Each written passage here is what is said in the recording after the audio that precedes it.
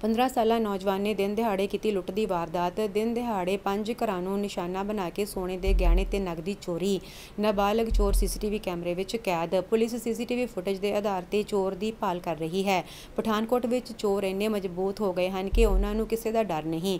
ਦਿਨ ਦਿਹਾੜੇ ਪਠਾਨਕੋਟ ਵਿੱਚ ਚੋਰੀ ਦੀਆਂ ਵਾਰਦਾਤਾਂ ਨੂੰ ਅੰਜਾਮ ਦਿੱਤਾ ਜਾ ਰਿਹਾ ਹੈ। ਦਿਹਾੜੇ ਦੇ ਦਿਨ ਦਿਹਾੜੇ ਹੀ ਨਾਬਾਲਗ ਨੌਜਵਾਨ ਤੋਂ ਅਜਿਹਾ ਹੀ ਕੁਝ ਦੇਖਣ ਨੂੰ ਮਿਲਿਆ। ਪਠਾਨਕੋਟ ਦੇ ਮੁਹੱਲਾ ਸੁੰਦਰ ਨਗਰ ਵਿੱਚ ਜਿੱਥੇ ਇੱਕ 15 ਸਾਲਾ ਨਾਬਾਲਗ ਨੌਜਵਾਨ ਨੇ ਦਿਨ ਦਿਹਾੜੇ ਅੰਨ੍ਹੇਵਾਹ ਚੋਰੀ ਦੀ ਵਾਰਦਾਤ ਨੂੰ ਅੰਜਾਮ ਦਿੱਤਾ, ਜਿਸ ਨੇ ਇੱਥੋਂ ਦੋ ਘਰਾਂ ਨੂੰ ਨਹੀਂ ਬਲਕਿ ਕਰੀਬ ਪੰਜ ਘਰਾਂ ਨੂੰ ਨਿਸ਼ਾਨਾ ਬਣਾਇਆ ਅਤੇ ਇਹ ਸਾਰੀ ਘਟਨਾ ਸੀਸੀਟੀਵੀ ਕੈਮਰੇ ਵਿੱਚ ਕੈਦ ਹੋ ਗਈ, ਜਿਸ ਦੇ ਆਧਾਰ ਤੇ ਪੁਲਿਸ ਨੇ ਇਸ ਨਾਬਾਲਗ ਨੌਜਵਾਨ ਦੀ ਭਾਲ ਸ਼ੁਰੂ ਕਰ ਦਿੱਤੀ ਹੈ। ਇਸ ਸੰਬੰਧੀ ਗੱਲਬਾਤ ਕਰਦਿਆਂ ਡੀਐਸਪੀ ਲਖਵਿੰਦਰ ਸਿੰਘ ਨੇ ਦੱਸਿਆ ਹੈ ਕਿ ਉਹਨਾਂ ਨੂੰ ਬੀਤੀ ਸ਼ਾਮ ਸੂਚਨਾ ਮਿਲੀ ਸੀ ਕਿ ਕਿਸੇ ਚੋਰ ਨੇ ਕਰੀਬ ਪੰਜ ਘਰਾਂ ਨੂੰ ਨਿਸ਼ਾਨਾ ਬਣਾਇਆ ਹੈ, ਜਿਸ ਕਾਰਨ ਉੱਥੇ ਲੱਗੇ ਸੀਸੀਟੀਵੀ ਕੈਮਰੇਜ ਦੀ ਫੁਟੇਜ ਨੂੰ ਖੰਗਾਲਿਆ ਜਾ ਰਿਹਾ ਹੈ ਅਤੇ ਚੋਰ ਦੀ ਪਛਾਣ ਵੀ ਕੀਤੀ ਜਾ ਰਹੀ ਹੈ, ਜਿਸ ਦੀ ਗਿਣਤੀ 15 ਦੇ ਕਰੀਬ ਜਾਪਦੀ ਹੈ 16 ਸਾਲ ਪੁਰਾਣੇ ਇਸ ਨਾਬਾਲਗ ਚੋਰ ਨੂੰ ਜਲਦ ਹੀ ਕਾਬੂ ਕਰ ਲਿਆ ਜਾਵੇਗਾ।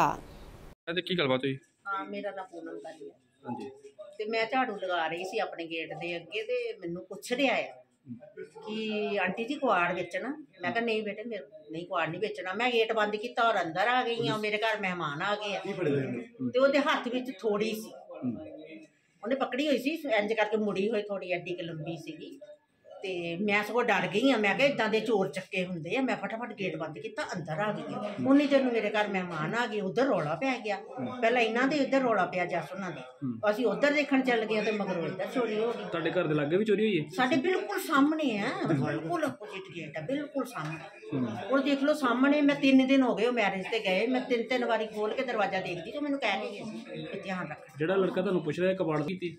ਕਿਉਂਕਿ ਥੋੜੀ ਉਹਨਾਂ ਦੇ ਘਰੋਂ ਲੱਭੀ ਹੈ ਜਿਹੜੀ ਥੋੜੀ ਮੈਂ ਦੇਖੀ ਸੀ ਉਹਨੂੰ ਮੈਨੂੰ ਪੁੱਛਿਆ ਜੀ ਕਿੰਨੇ ਕੁ ਸਾਲ ਦਾ ਉਮ- ਉਮਰ ਦਾ ਮੁੰਡਾ ਹੈ? ਮੁੰਡਾ 20 ਸਾਲ ਦੇ ਵਿੱਚ ਵਿੱਚ ਦਾ ਹੀ ਆ ਛੋਟਾ ਜਿਹਾ ਹੌਲੀ ਉਮਰ ਦਾ ਆ ਕੋਈ ਜ਼ਿਆਦਾ ਕੋਈ ਵੱਡਾ ਨਾਲ ਵੀ ਸੀ ਉਹਦੇ?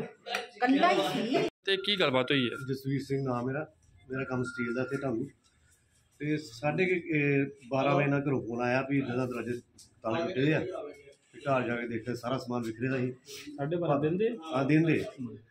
ਸਾਢੇ 12 ਤੋਂ ਬਾਅਦ ਜੀ ਆਪਾਂ ਅਗਰ ਇੱਕ ਪਾਸੇ ਹੁੰਦੇ ਸੀ ਇਕੱਠੇ ਤੇ ਦੂਜੇ ਪਾਸੇ ਚੋਰੀ ਹੋ ਰਹੀ ਹੈ ਦੂਜੇ ਪਾਸੇ ਇਕੱਠੇ ਹੁੰਦੇ ਤੀਜੇ ਪਾਸੇ ਹੋ ਗਈ ਚੌਥੇ ਪਾਸੇ ਦੋ ਤਿੰਨ ਘੰਟਿਆਂ ਵਿੱਚ ਹੀ ਪੰਜ ਘਰ ਦੇ ਤਾਲੇ ਟੁੱਟੇ ਉਹਨਾਂ ਦੇ ਜਿਹਨਾਂ ਦੇ ਘਰ ਬਾਹਰ ਤਾਲੇ ਲਟਕੇ ਹੁੰਦੇ ਤੇ ਤੇ ਉਹਨਾਂ ਦੇ ਸਾਰਿਆਂ ਦੀ ਚੋਰੀ ਹੋਈ ਆ। ਕਾਫੀ ਨੁਕਸਾਨ ਹੋਇਆ ਸਾਡਾ ਤੇ ਹੋਇਆ। ਇੱਕ ਰਿੰਗ ਲੈ ਗਿਆ ਤੇ 15000 ਰੁਪਏ ਕੈਸ਼ ਲੈ ਗਏ। ਬਾਕੀ ਬਾਕੀ ਦਾ ਬੜਾ ਨੁਕਸਾਨ ਹੋਇਆ ਬਾਕੀ ਤੁਹਾਨੂੰ ਦੱਸੋ।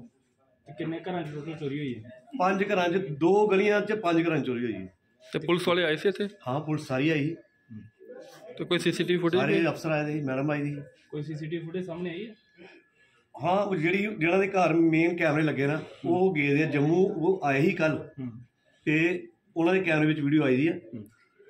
ਤੇ ਉਹ ਦਿਖਾ ਦੇਣੇ ਤੁਹਾਨੂੰ।